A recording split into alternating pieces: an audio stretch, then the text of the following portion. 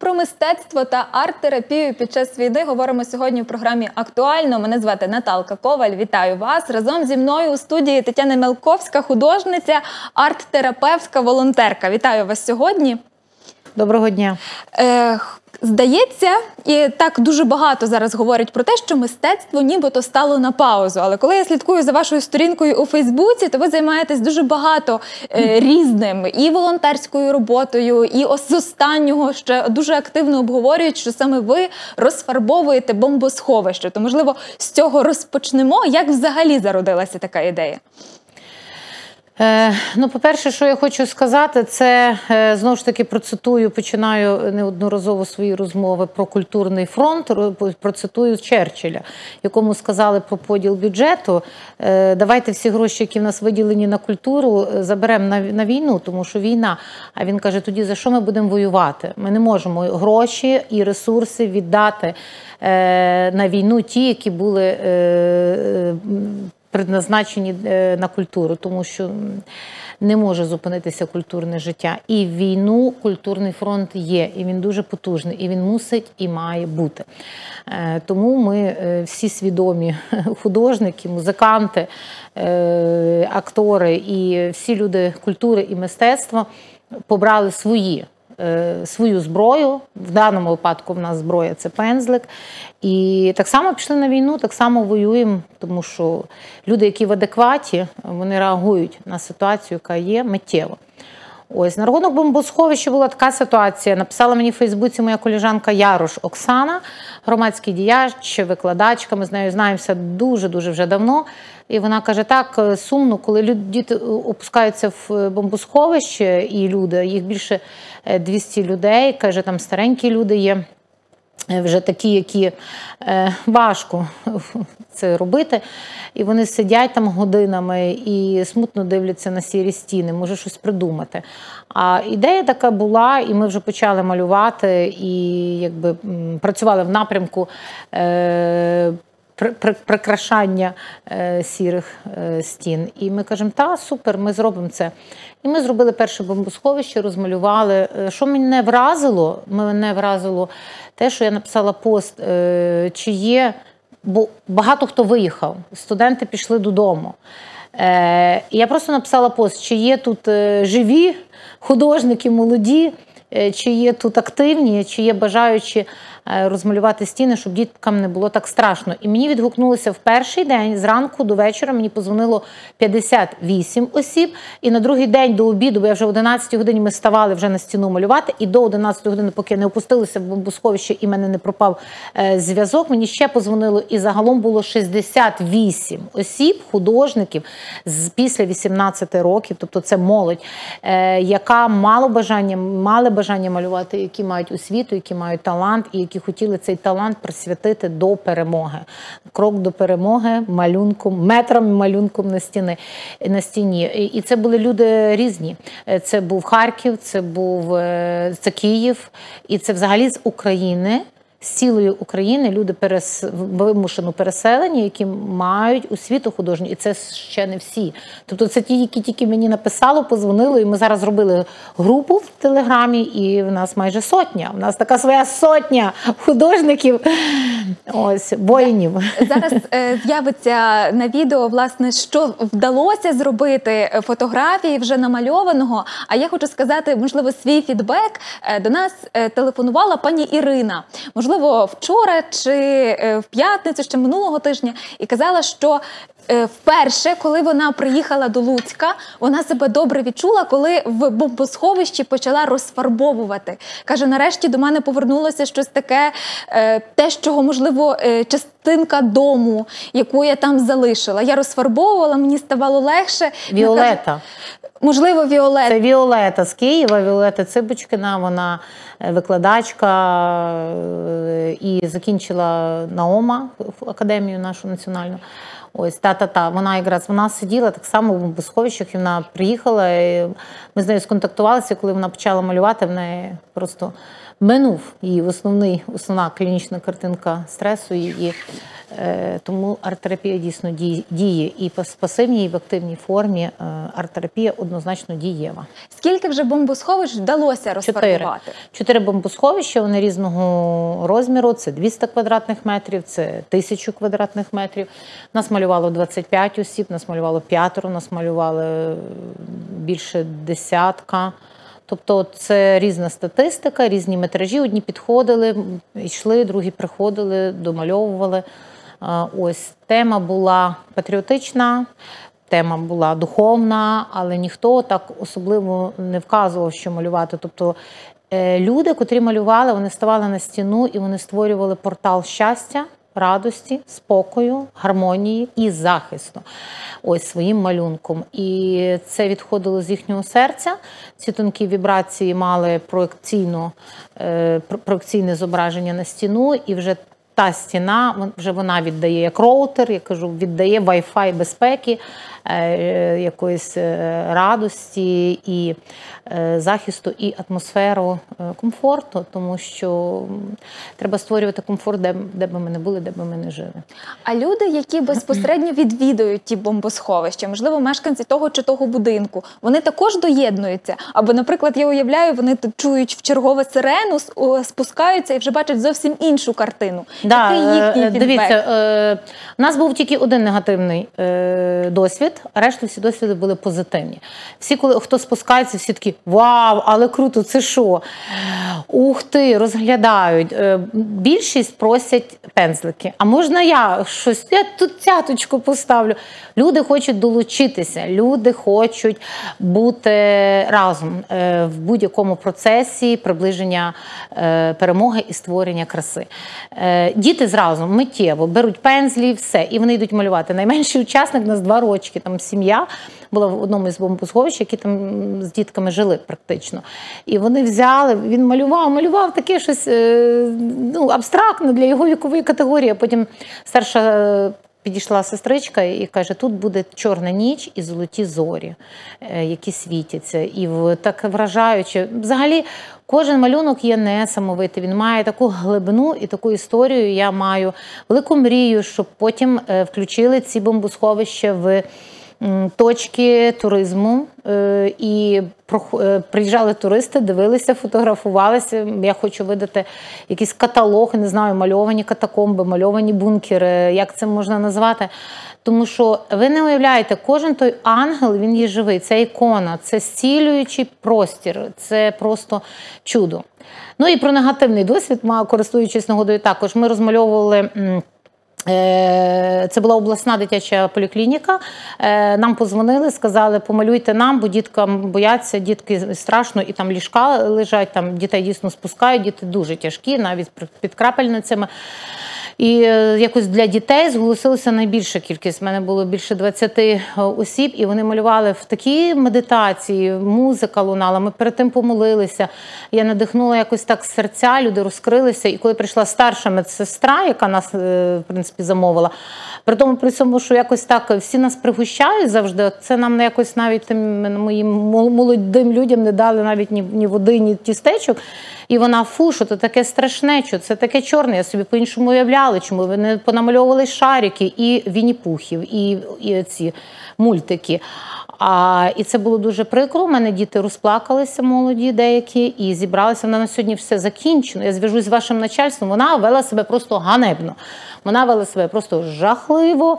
І я їй дуже швиденько змушена була е, заборонити далі продовжувати розмову. Звичайно, що е, замість подяки почули е, такий е, не зовсім позитивний відгук.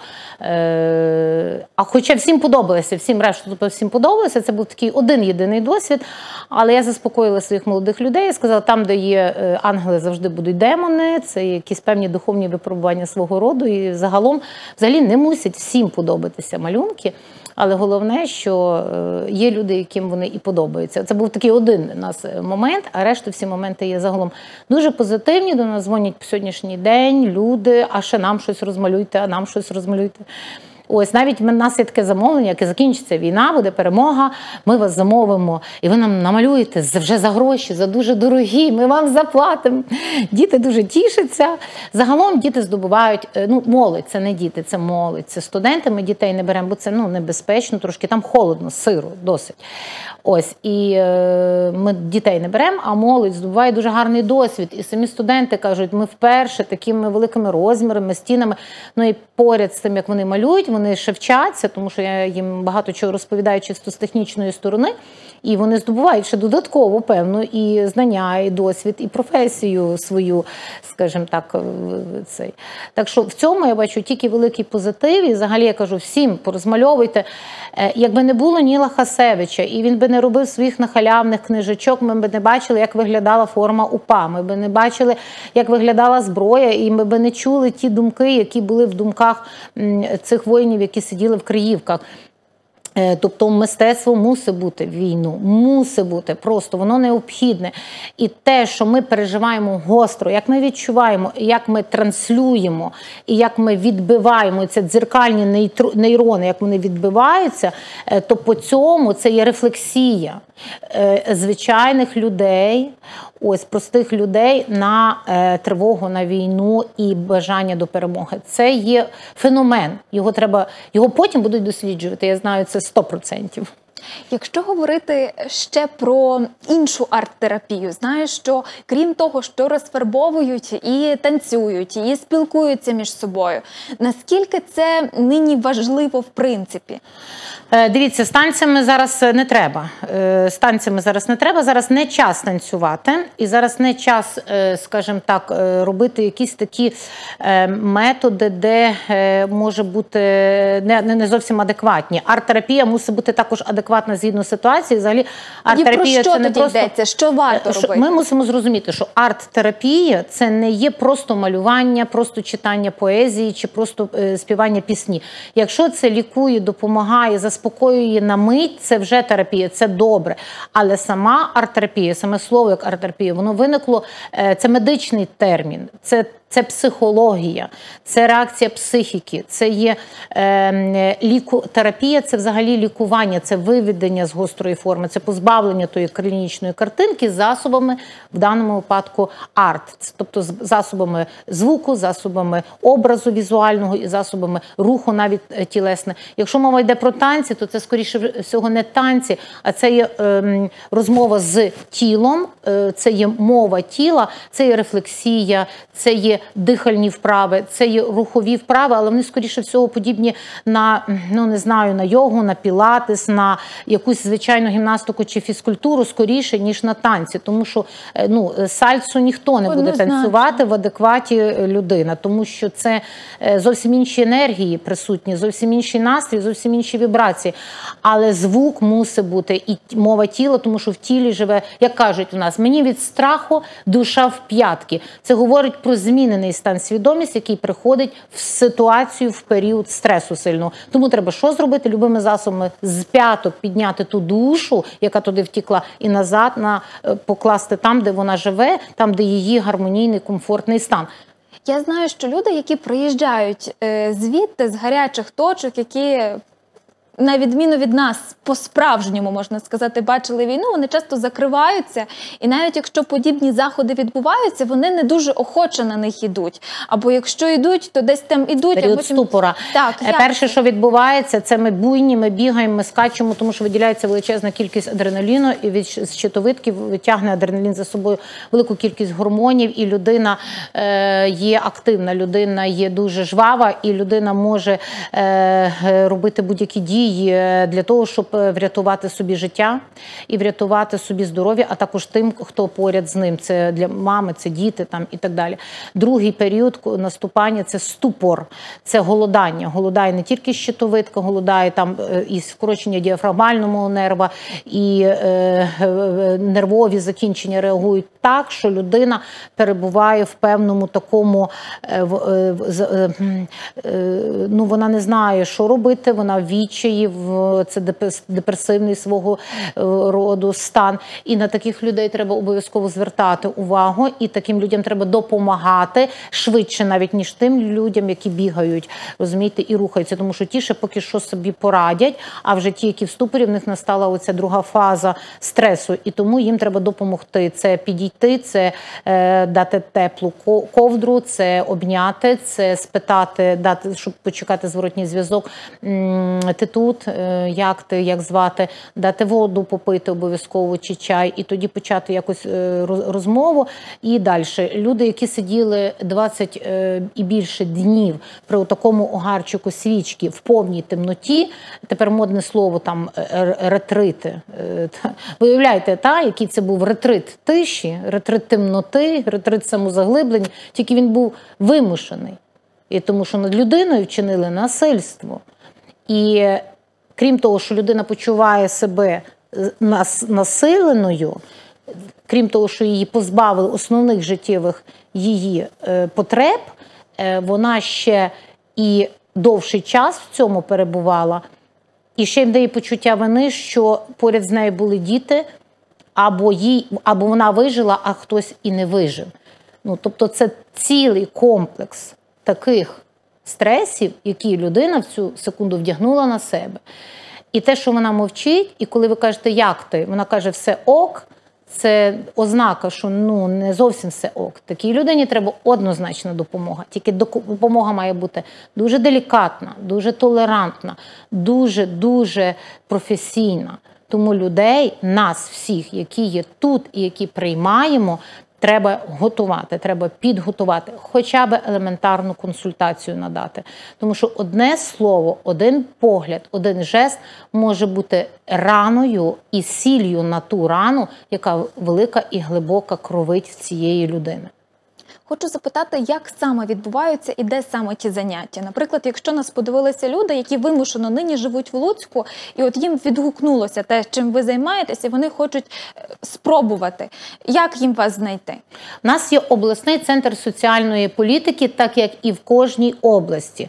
Будь ласка, відкриті інтернети, набираємо. Це є безкоштовно. Як житло, так завжди поможуть з памперсами, з гречкою, завжди поможуть з наданням консультацій психологічних, в тому числі. Далі просто вбиваєте волонтери Луцьк, вискочить купа інформації. Е, тому що зараз всі люди, які є українці, які є християни, які є свідомі, ну не обов'язково християни, просто які є свідомі, які готові піти на допомогу. Вони всі в озброєнні е, волонтерській діяльності. І психологів достатньо також. Тому є дуже багато центрів, різних центрів, і вони зазвичай співпрацюють із центрами, де живуть вимушено переселені люди.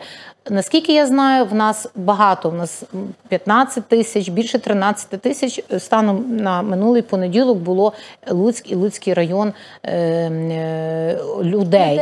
і вони живуть е, в центрах, які е, вказані в інтернеті, їх можна знайти. Е, це як. Е, будинки людей, які прийняли, просто зголосилися жити, е, так і е, заклади, де є можливість їх прийняти в більшій чи в меншій мірі. І я думаю, що е, в Луцьку всі один одного знають і дуже гарно можна розпитати, дуже гарно дізнатися, навіть без афішування зайвий раз локацій, тому що це також може бути небезпечно. Тут дуже все легко. Якщо людина хоче, вона знайде. Якщо навіть людина не хоче, повірте мені, я зараз звертаюся до всіх, хто мене чує. Е, стрес має дуже глибокий корінь, і той корінь потім буде проростати. Е, розумієте, щоб не е, випльовувати з себе через півроку тяжку психосоматику найкраще собі допомогти вже і зараз. Розумієте, як правильно дихати, скільки пити води, які краще навіть проїсти яку їжу краще для того, щоб трошки на фізичному рівні зняти, помогти собі. І так само е, на, е, і на психічному, тому що дух, душа і тіло це три е, таких е, три, три осібна наша людина, і по трьох е, напрямках треба допомагати собі. Е, робота з психологом мусить бути в кожного е, по тій причині, що психіка е, це є якраз це перше уражене місце. Це наш мозок, наші нейрони. Тому що пройшов такий сильний спалах тої електричних тих імпульсів і таке сильне утворення нейронів від стресу, від страху, е, що його треба чим швидше допомогти йому е, трансформуватися в інший стан. Це робити складно. Але це є все можливо. І здорова людина це здорове майбутнє. Ось. Ще хочу вас запитати, це для людей, які сюди переїхали і дійсно потребують підтримки. Ви розповіли. А для людей місцевих лучан, які хочуть доєднатися, поволонтерити, допомогти разом з вами. Чи можуть вони, е, якщо вони фахівці чи спеціалісти в тому чи в тому напрямі, чи можуть вони до вас доєднатися? Чи так само я бачила, як е, вам якісь речі, які необхідні, чи там дитяче харчування можна так само завести, бо інколи цього потрібно дітям. Е, Як тоді правильно скоординуватися і що насправді потрібно? Е, На сьогоднішній день нас е, дуже свідомі люди. Богу дякувати. Є групи закриті в певних соціальних мережах, де людина, яка має бажання бути корисною і потрібною, як е, в нас в українській цій традиції свій до свого по своє. Всі в цих групах. І в цих групах іде з самого ранку до пізнього вечора викид інформації і відповідно утримування її там. Потрібно те, те, те. Хто? Той, той е, координуються, дають номери телефону, доставляють. Мені треба 5 ліжок. Е, Через годину вже тобі дзвонять, привозять матраси, привозять ковдри. Е, Тобто, в нас настільки сарафанне радіо гарно працює, тут немає. Е, Ну, якщо людина має на щось потребу, і коли вона звертається, починаючи від соціальних центрів, де пройшла вона реєстрацію, до речі, я хочу всіх попросити зареєструватися. Тому що е, коли було перше. е, пер- Перші проблеми з вимушено переселеними ще з Криму і зі Сходу, і я мала досвід займатися з цими людьми. І пізніше, коли були програми певні по допомозі цим людям, було дуже важко е, навіть організувати документи, подати проект на підтримку через те, що не було вчасно. Е, Реєстрації, Е, потім треба щось там доказувати. А для того, щоб уникнути цих всіх проблем, я переїхав звідти туди. Причина війна, зареєструвався, і е, ти є людина, яка офіційно, тому що ми всі мусимо бути свідомими громадянами. Війна це не отмазка. Ось треба все одно мати правила. Якщо червоне світло, стоп, зелений їдемо. Смітник викинув за собою, прибрав, унітаз спустив. Цього ніхто не відміняв. Так само. Е, Щодо наших людей, треба бути делікатними, ненав'язливими. Це дуже важливо, тому що там я хочу допомогти е, добре, але деколи допомога може бути е, така трошки, можливо, треба е, ну, прислухатися. Е, І в нашому, от, в нашому спільному випадку треба бути командними граками. Треба відчувати командну гру, де зараз м'ячик, куди він летить і що зараз в пріоритеті, а не е, розштовхувати ліктями, бігти наперед, там, щоб бо я хочу забити гол. Не треба. Треба кожному е, займатися тим, в чому його сила. Талант, даний Богом, є наша зброя. Не треба займатися тим, що не притаманне тобі, і в чому ти є в слабому ресурсі. Твій сильний ресурс співати. Вукарчук йде, співає, піднімаючи настрій. І цей настрій продовжує життя. Він на пару секунд, на долі хвилин забирає страх, стрес це важливо. Вмієш малювати, малюй будь-де, будь-що. Нічого страшного, потім зафарбуємо, якщо тобі самі не сподобається це. Але роби це, не сиди вдома, не будь в ступорі. е, Помагай так само і іншому.